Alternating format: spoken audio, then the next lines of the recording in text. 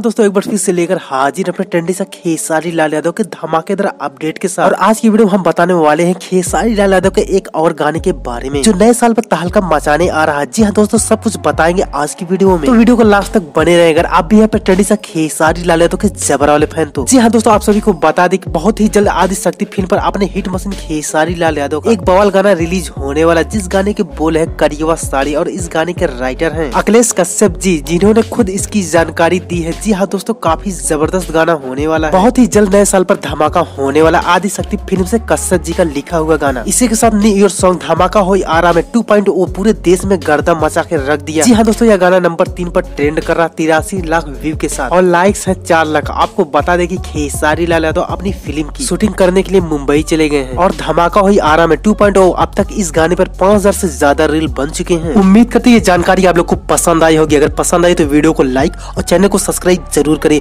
मिलते हैं एक और अपडेट लेकर।